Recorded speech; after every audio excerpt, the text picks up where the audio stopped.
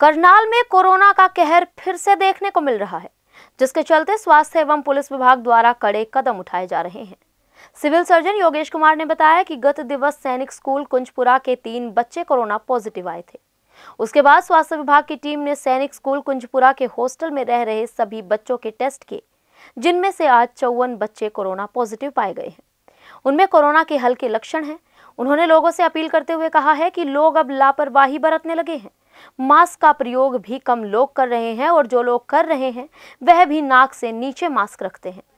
उन्होंने आह्वान किया कि प्रॉपर मुँह और नाक पर मास्क लगा कर रखें। उन्होंने कहा कि छोटे बच्चों के स्कूल खुल चुके हैं, इसलिए माता पिता को भी जागरूक होना पड़ेगा। जिन बच्चों में खांसी और जुकाम के लक्षण दिखाई देते हैं तो उनके टेस्ट अवश्य करवाएँ।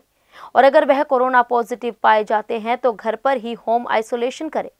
उन्होंने कहा कि कोरोना अब बढ़ता जा रहा है।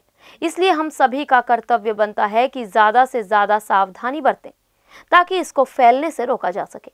फ़िलहाल सैनिक स्कूल के चौवन बच्चों के कोरोना पॉजिटिव मिलने से एक बार फिर कोरोना के कहर से निपटने की ज़रूरत है। से हम पिछले सात आठ दिन से हम रेगुलरली देख रहे थे कुछ केसेस बढ़े हैं। इसमें जैसे कल तीन बच्चे जो है सैनिक स्कूल से पॉजिटिव आए थे और हमारी टीम्स ने जो कॉन्टैक्ट ट्रेसिंग के लिए जाती है और पूरी टीम ने वैक्सीन जो उनके हॉस्टल है हॉस्टल के सभी मेंबर्स का और बच्चों का सैंपल कल किया है और उसी के चलते हुए आज 54 बच्चे जो हैं, सैनिक स्कूल कुंजपुरा के पॉजिटिव आए हैं। तो लेकिन बच्चे में कोई किसी तरह के कोई ज़्यादा सिम्टम्स नहीं है। हमारी जो रैपिड रिस्पॉन्स टीम है, वो सारी पहुँच गई हैं। स्पेशलिस्ट की टीम्स भी वहाँ पहुँची हुई है और बच्चों को सेग्रीगेट करके उस एरिया को सैनिटाइज किया जा रहा है।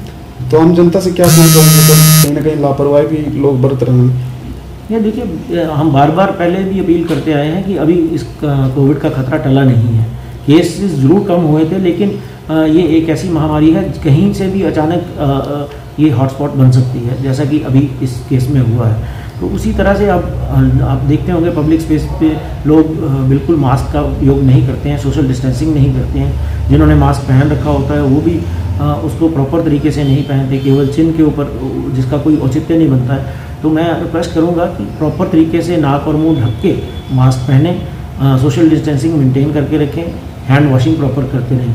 हम सभी मिल के ही इस बीमारी से आ, का सा आ, हम आ, अगर हम मिलजुल के ये सारी सावधानियाँ रखेंगे तभी इसका सामना कर पाएँगे। और अपनी वैक्सीनेशन जिस जिस एज ग्रुप में जबकि अब 60 प्लस की हमने वैक्सीनेशन शुरू कर रखी है तो ज़्यादा से ज़्यादा और अपनी वैक्सीनेशन करवाएँ। क्योंकि सबसे ज़्यादा खतरा जो है सिक्सटी ईयर्स एंड अबव की जो एज ग्रुप है उसी को होता है। बच्चों के पेरेंट्स से सर क्या कुछ कहना चाहेंगे? छोटे बच्चों के स्कूल खुल चुके हैं।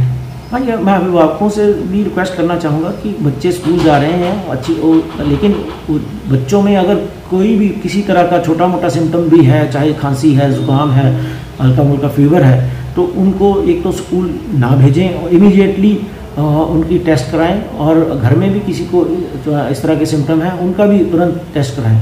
केवल एक तरीका यही है टेस्ट कराने के बाद अगर कोई पॉजिटिव आता है तो उसको हम घर में सेग्रीगेट कर देते हैं तो जिससे कि ये जो स्प्रेड होने से हम इस बीमारी को रोक सकते हैं। धन्यवाद, सर।